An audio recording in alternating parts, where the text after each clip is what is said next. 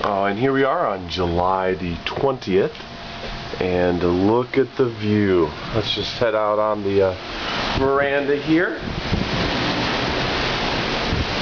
Oh, what another beautiful, beautiful day as my camera just fought.